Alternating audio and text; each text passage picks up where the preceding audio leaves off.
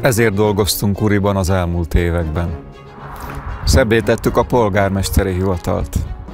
Korszerűsítettük az orvosi rendelőt. Újjávarázsoltuk a művelődési házat. Felújítottuk a Szent Imre általános iskola épületét. Építjük a Szent Imre általános iskola új tornacsarnokát. Megépült a mini bölcsöde. Felújítottuk az óvodát és a játszódvart. Kialakítottunk egy új élményparkot. Megvásároltuk és kialakítottuk a hagyományok házát. Folyamatosan újítjuk a település belterületi és külterületi útjait, járdáit. Folytassuk közösen a megkezdett munkát. Hajrá, Úri!